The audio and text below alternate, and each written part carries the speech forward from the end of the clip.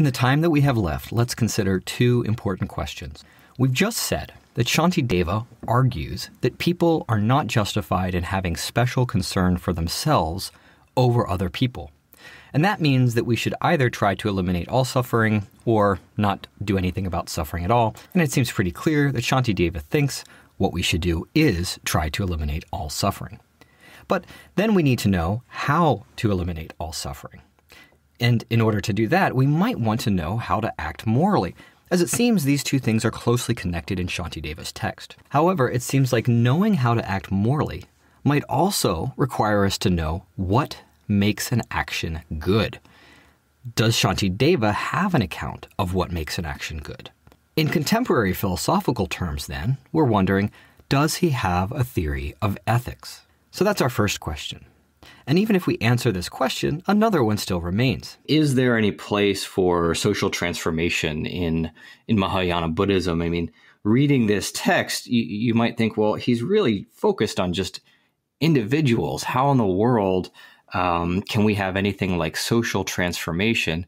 And, and, I guess even a second question would a Buddhist like Shantideva even be concerned with, say, um, changing systems of oppression in the world? Uh, or is he just concerned with individual people coming to be more compassionate and then becoming uh, Buddhas?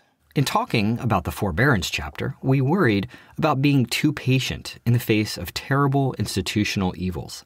Turning the other cheek is well and good when people insult us, but what should we do when governments oppress people? When structures result in inequality and suffering?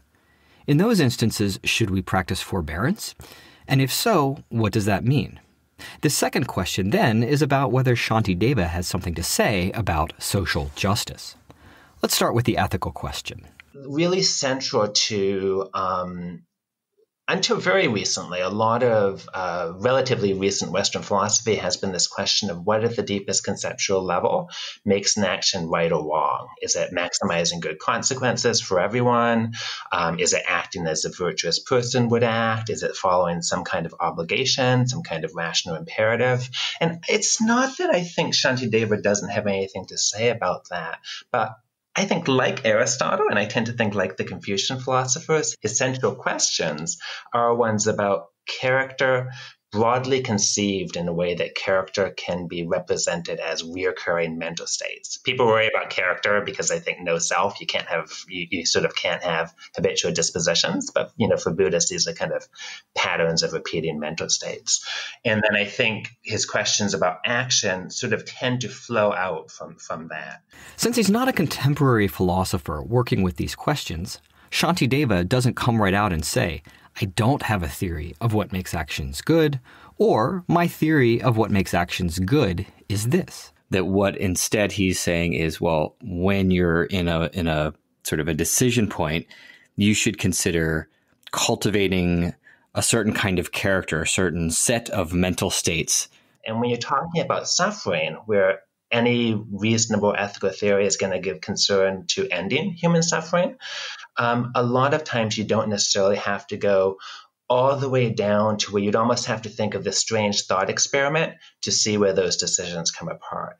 I tend to think Shantideva tends not to put himself in those theoretical spaces and instead tends to use his philosophical insights to develop characterizations of virtuous mental states. Um, and one consequence of these will be ending suffering, but the primary issue isn't determining what exactly well-being is and a way to maximize it impartially for all beings someone who's a consequentialist, someone who's a deontologist, or for instance, follows a, a, a moral principle or set of principles, um, even a virtue ethicist, someone who's focusing on cultivating um, character or dispositions, all of them are going to involve thinking about consequences in, in some way often. And so, but that doesn't mean that they're all going to agree on what makes an action right or wrong. It's just that when you're making a decision, you might look at the at the consequences as part of the decision. So talk about consequences in the text shouldn't then be interpreted as this is the um, the basic, most um, fundamental thing for him in determining whether an action is right or wrong. And as well, his text isn't concerned with theorizing alone. Even the argument we were introduced to in Chapter 8 comes in the context of a meditation. It's an argument you're supposed to think about deeply, repeatedly, over time.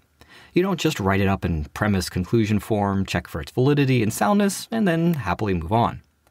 You meditate on it. So his project may just not be concerned with ethics in the very particular sense that some philosophers today are concerned. But what Shanti Shantideva's relationship is to ethical theory is in fact a difficult question, and it's one that I will challenge you to think about, especially as Dr. Harris just has, in comparison to the other philosophers we've been reading. Maybe you disagree, and you think Shantideva is, for instance, concerned with the consequences of our actions, and he's concerned with them so much that we should infer that he thinks consequences are what make actions right or wrong.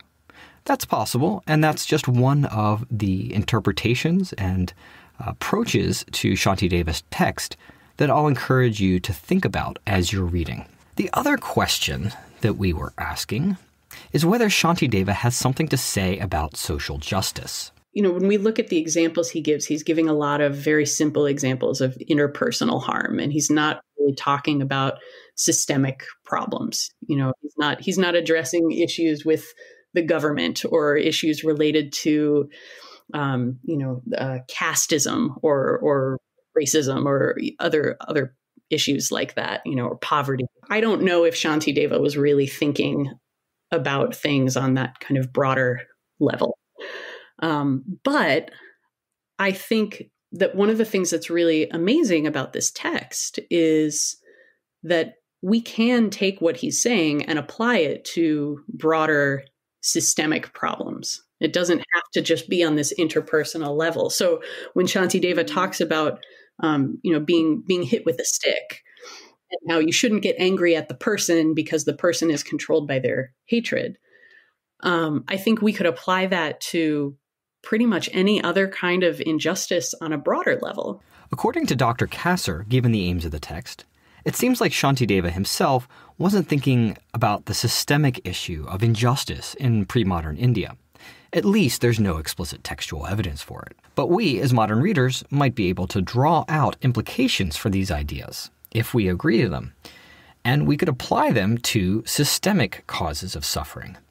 After all, on a Buddhist point of view, even if systems are conventional, they can still be causes of suffering. I mean, we don't need to have an essential self called Nagasena or Shantideva in order for that self to be subject to cause and effect.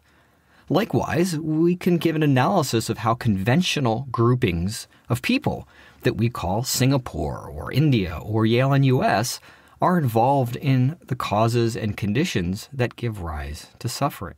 So what Shantideva is saying is, you know, okay, well, you get angry at the person who hit you with the stick, or you call for this one particular police officer to be fired. That might make you feel better in the short term, but it's not actually going to stop that action from happening again in the future. And in order to do that, you really have to recognize the causes and conditions that allowed for that harm to happen in the first place. So I think even though Shantideva wasn't writing about those things specifically, I think we can take what he's saying and apply that to a much broader kind of situation. Of course, we want to draw these implications carefully. We need to understand what Shantideva is saying before we can make applications to the modern day. And, and I think one of the things that um, is really helpful as you're reading through this text is to really pause and reflect on the examples because some of the examples don't don't they're not applicable to us today in the 21st century. Um, but if you can understand the point that's being made through the examples and and really pause, you know, it'll, it'll take you longer to read through the text, but but if you pause at these examples and think, well, what's an example of of this kind of situation in my own life, and how would I react in that situation? Um, I think that's that's where where you really find some some benefit in the text and that's where the text becomes really meaningful. But this is one of the reasons the text has remained popular for so long generations of philosophers generations of buddhist practitioners and generations of ordinary readers have found connections with its ideas and found its arguments and images challenging i hope that you'll find the same this week thanks for your time and thanks to my guests for their willingness to join in virtually Yeah, you're welcome. Glad to do it. Yeah. Well, thanks so much for for chatting with me. I hope you guys have fun reading through it. I think it's a great text.